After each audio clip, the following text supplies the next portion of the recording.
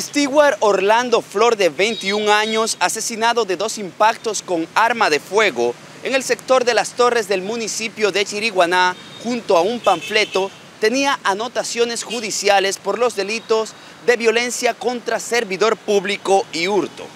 Cuando se desplazaba a pie por el sector de las torres de Chiriguaná, César Stewart Orlando Ramos Flores, de 21 años, fue atacado por sicarios motorizados, quienes le dispararon dos veces en la cabeza, dejándolo gravemente herido en el lugar de los hechos. Con ayuda de la comunidad, la víctima fue trasladada al Hospital San Andrés, pero falleció minutos después. Testigos afirmaron que a la víctima le dejaron un panfleto de las EGC con el mensaje limpieza social. El incidente ocurrió alrededor de las 9 de la mañana, cuando Ramos intentaba sacar una motocicleta de una vivienda abandonada en la misma población. José Carmelo Galeano, alcalde de Chiriguaná. César informó que la víctima frecuentaba a una persona asociada con una banda delincuencial. Este hecho ha generado consternación entre los habitantes de Chiriguaná, quienes solicitan mayor seguridad y el pronto esclarecimiento del crimen para evitar que la violencia siga afectando el orden público en la población.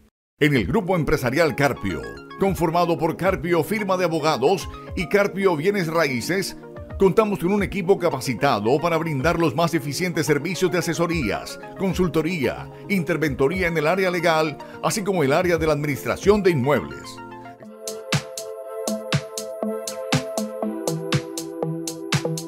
Contáctanos al 316-666-1017.